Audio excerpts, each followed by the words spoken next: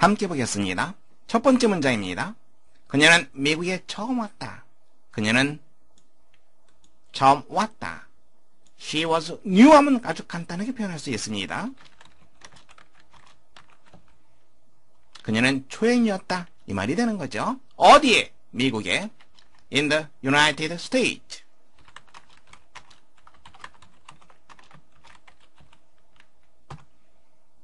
다시 한번 확인해 두세요. 처음 왔다. 즉, 초행이었다. She was new. 이러한 표현을 쓰면 된다는 거 염두에 두시기 바랍니다. 두 번째 문장입니다. 그녀는 그것을 어떻게 주문하는지 알지 못했다. 그녀는 알지 못했다. 알다. 노라고 하는 단어죠.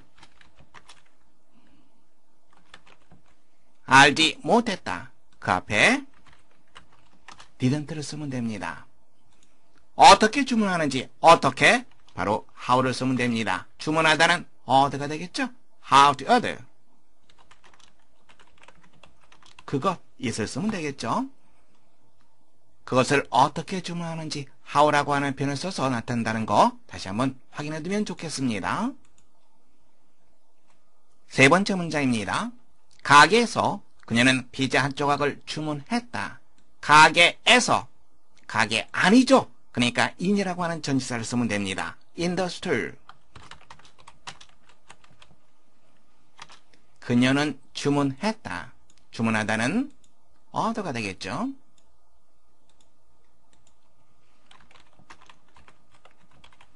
시제가 과거죠. order 드해줘야 됩니다. 다음에 무엇을 주문했습니까? 피자 한 조각을 주문했습니다. 피자 한 조각은 a slice of pizza.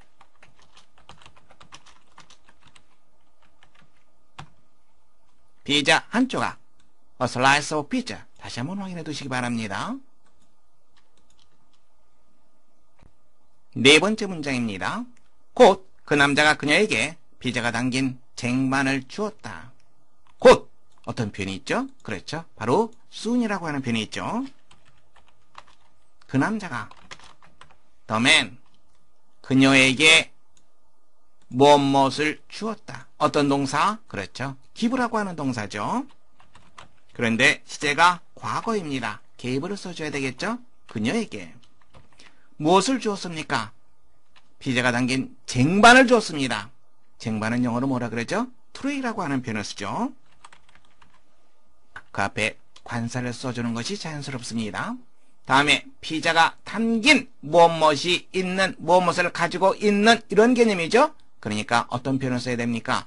With라고 하는 전치사를 쓰면 됩니다. 그녀가 주문한 피자가 되겠죠.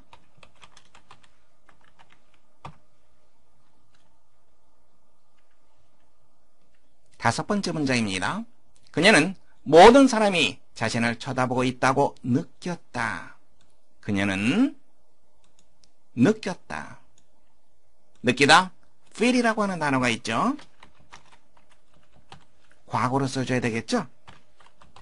Felt입니다. 다음에 누가 뭐뭐 한다고 느끼다 feel이라고 하는 동사면 그렇죠. 바로 지각동사가 되죠. 지각동사 여러분들 알고 있죠? 지각동사 다음에 목적어가 나오고 그리고 그 다음에 동사원형 혹은 ing가 나온다고 얘기했죠? 다시 한번 지각동사 확인해 보도록 하겠습니다. 지각동사에 대해서 알아보겠습니다. 감각, 지각을 나타내는 동사다면 동사 원형이 목적보호로 쓰입니다. 어떠한 동사가 있는지 살펴보겠습니다. feel, 느끼다 라고 하는 뜻, hear, listen to, look at, see, watch 이러한 동사들이 지각동사에 해당됩니다. 문장 보겠습니다. Did you feel the earth move? 땅이 움직이는 것을 느꼈느냐? feel, 지각동사입니다. 목적어 나와 있죠? earth. 다음에 목적보 move, to move 하지 않고 동사 원형을 씁니다. 음성의 관계로는 earth, 이게 음성의 주어죠? move가 동사입니다. 땅이 움직이다, 바로 그것을 느끼다. 이렇게 여러분들 생각하시면 됩니다. 또 다른 문장 보겠습니다. I heard the girl sing songs a few minutes ago. 나는 몇 분 전에 소녀가 노래를 부르는 것을 들었다. heard. 지각동사입니다. The girl 목적어고요. sing 목적 보호입니다. 동사 원이 왔습니다. 마찬가지로 의미상의 관계 girl이 의미상의 주어가 되고요. sing이 동사가 됩니다. 소녀가 노래를 부르다. 내가 그것을 들었다. She watched the passengers get off the bus. 그녀는 승객들이 버스에서 내리는 것을 지켜보았다. watch 지각동사입니다. 목적어 passengers 목적보 get off 동사 원형에 쓰였습니다. 마찬가지로 승객들이 버스에서 내리다 의미상의 주어 동사 관계를 이루고 있습니다. 다시 한번 확인해 두세요. 지각동사 다음에는 목적보 동사 원형이 쓰인다. to부정사가 아니라 동사 원형이라고 하는 거 다시 한번 확인해 두시기 바랍니다. 자, 이제 여러분들 지각동사에 대해서 어느 정도 알게 되었으리라고 생각합니다. 모든 사람이 자신을 쳐다보다. 모든 사람, everyone. 쳐다보다라고 하는 표현은 look at입니다. look at 해도 좋고요. 조금 전에 설명했다시피 looking at 해도 상관없습니다. 자기 자신 바로 그녀입니다. 다시 한번 확인해 두세요. 지각동사 다음에는 목적어가 나오고 그리고 목적보로서 동사 원형 혹은 ing가 올 수 있다는 것 여러분들 조심하시기 바랍니다. 여섯 번째 문장입니다. 그녀는 너무 부끄러워 그 이야기를 그에게 말할 수 없었다. 그녀는 너무나도 뭐뭇해서 뭐뭐 할 수 없었다.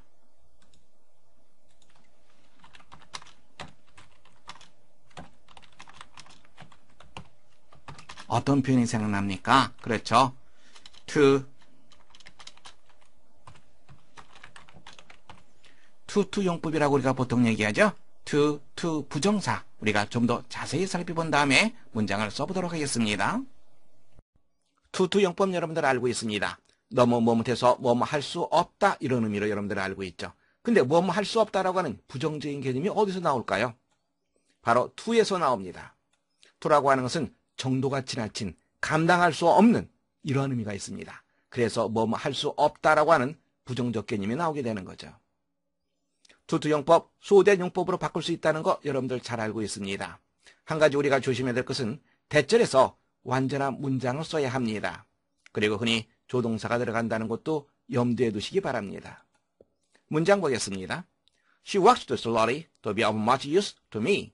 그녀는 너무나도 천천히 일을 해서 정도가 지나치단 말입니다. 나에게 그다지 도움이 되지 못한다.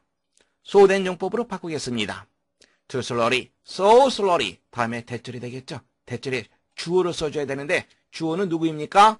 의미상의 주어. 누가 뭐뭐 하다. 누가 해당되는 것이 어떤 거냐라고 하는 거죠. 바로 쉬가 되겠죠. 그래서 여기도 마찬가지로 주어가 쉬가 되고요. 다음에 조동사 메이나 쓰고 나머지는 그대로 써주시면 됩니다. 다음 문장 보겠습니다. The light was too weak for me to read by. 그 빛은 내가 그 빛에 의해서 독서를 하기에는 너무나도 약하다. 그 빛은 너무나도 약해서 내가 그 빛으로는 독서를 할 수가 없었다. 다음에는 이 문장을 so that 용법으로 바꾸어 보도록 하겠습니다. too weak, so weak. 다음에 that절 써주면 되겠죠? 그런데 that절에서 이 주어는 read하는 것이 누가 read하는 것인가? 의미상의 주어가 무엇인가? 그걸 따져줘야 되겠죠? 누구죠? light가 아니라 바로 나죠. 그래서 주어 I를 썼습니다. 뭐 뭐 할 수 없다니까 부정개념이니까 couldn't read, couldn't read 부정개념이 들어가죠.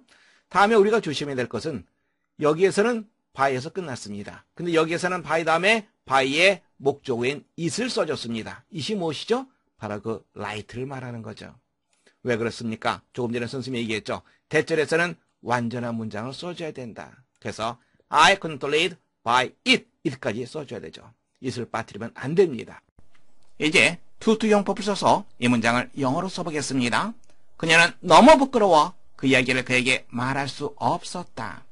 그녀는 너무나도 부끄러워. She was too ashamed. 부끄러워하는 ashamed라고 하는 단어 쓴다는 것도 확인해 두세요. 그 이야기를 그에게 말하다.